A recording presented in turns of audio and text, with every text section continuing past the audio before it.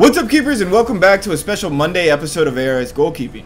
I'm Alberto and in this video we're going to go back to the basics, something that all keepers need to brush up on because no matter what the level of play a keeper is at, he or she can always polish their technique. So to start out, I want to get my keeper thinking fast while having to move their legs. This is a simple shuffle through four cones without looking at your feet while receiving a lofted pass, and a command like left, right, both hands, etc. The keeper must return the service with the limb the server calls out while moving through the cones.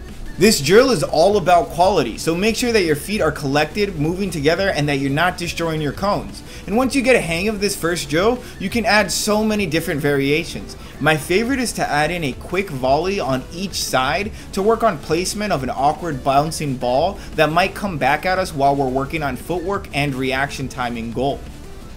This is always a fun drill and there's a lot to work on with just a few cones and a server. If you're of a higher skill level then try to go through it a little faster with tougher services and less time to react.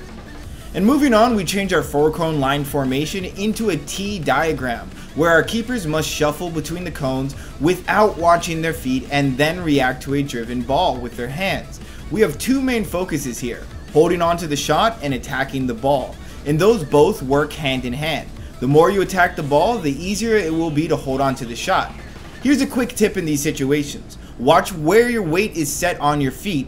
If you can go through your shuffle and continue to keep your weight on the balls of your toes, with your chest going forward toward the ball, your dive will be crazy powerful. And for handling, I tell all my keepers the same thing. Pick a spot on the ball and don't take your eyes off of it. Your training and catching technique will take over once you practice it enough.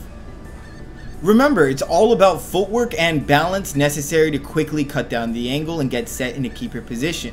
Make sure to be aware of how your feet are set and that you are not planting your heels into the ground.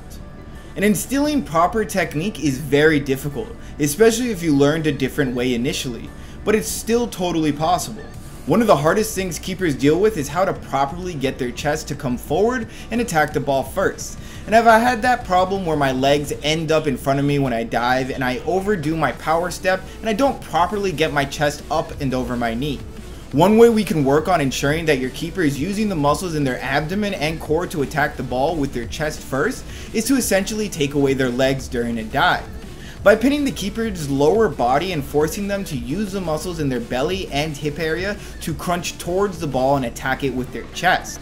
Make sure to work on this on both sides and to slowly work your way up to the keeper's feet, where the keeper then has to lean his chest forward into the dive instead of just stepping into it. So yeah, these are just a few from hundreds of fundamental drills goalkeeper coaches all around the world use. If you liked the video, don't forget to click like, subscribe, and leave your love in the comment section below. Be sure to check my Instagram and YouTube on Wednesday for a look at some great warm-up games you can do with your keepers as well. And thank you guys so much for watching, and I'll see you guys again very soon.